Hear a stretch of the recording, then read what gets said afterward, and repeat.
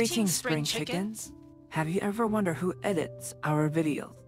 In this video, we will be meeting through text our editors.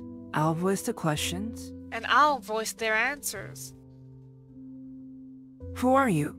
I'm Jun, a high schooler and a Christian. I'm one of the video editors and visual graphics makers. I'm Noel, also a high schooler and a Christian. I'm the other video editor and visuals maker. Jun and I are siblings, you know, brother and sister. What do you do? As high schoolers, we go to school.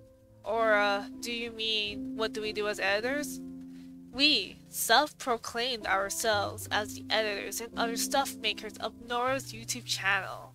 What we mean is that we're the crew behind Aetheria Nova.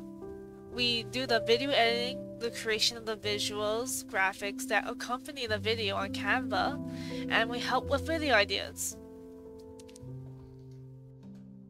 What's the whole editing process like?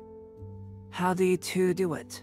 Me first, me first. So we first have Nora record after hashing out a script and reviewing it a few times between the two of us. So Nora goes and records her video and then after that's done, we each of us will go through the raw video. One of us will either go through the video and do cuts and the other will go through the video and start creating the visuals, you know, the graphics that go along with the final video. Oh, and we're beginner video editors, like we have never video edit before or anything, you know? We're learning as we go, using YouTube as our sensei, and we're doing our best. Yeah. You said you also worked on the visuals of the video, the graphics. What else do you two do behind the scenes? I'm next. Me. Okay.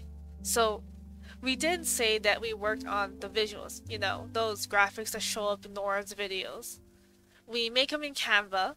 Canva is like this free software website thingy that does all sorts of things. We mainly use Canva for making the visual, you know, graphics, the thumbnails on the channels, and the channel's branding, and such and such. Adding to what my brother said, we also help with creating video ideas. We edit Nora's script after she's done with word vomiting onto it. We try out some ideas too.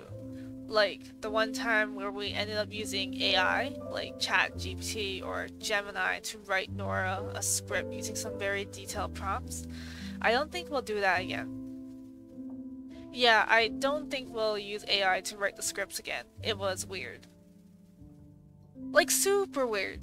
Like it sounded like what Nora would say, but it sounded fancy and weird, and I did say weird already, but it sounded like she's all high and mighty and and well, it's something we tried and we'll never do again. Oh, and we used DaVinci Resolve to video edit. Side note.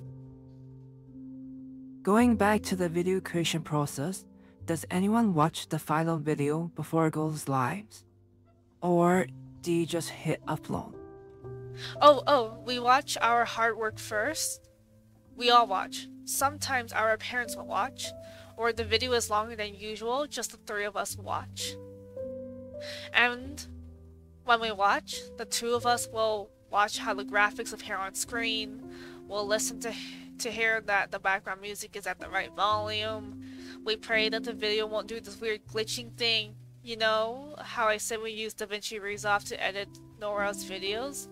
I'm not really sure why, but somewhere in the process, DaVinci Resolve will render the video fine and all, but then when we go to watch it, sometimes we see these weird glitching spots in the video.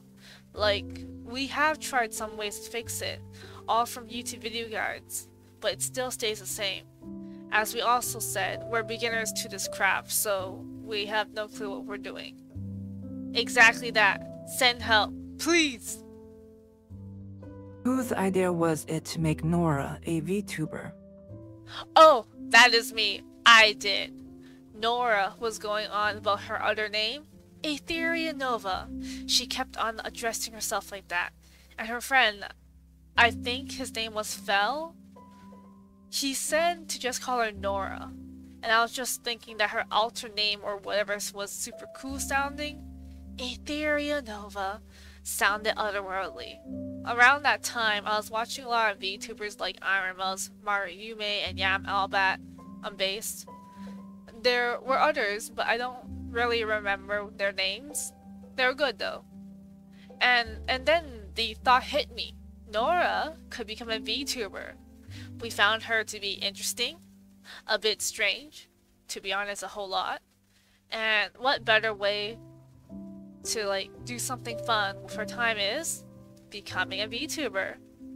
And so we proposed the idea to Nora and her friend Fel. We explained what a VTuber was, the model, the artistic views, and what a VTuber does.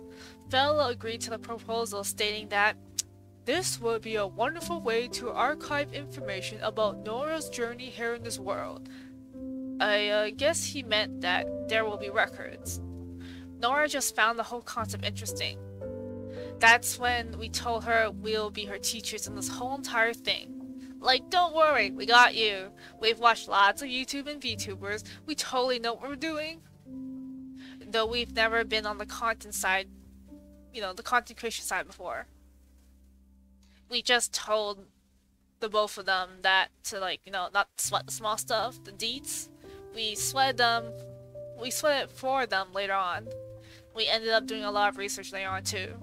Anything else to say? We'll get better at video idea creation and video editing and making better visual graphics and stuff.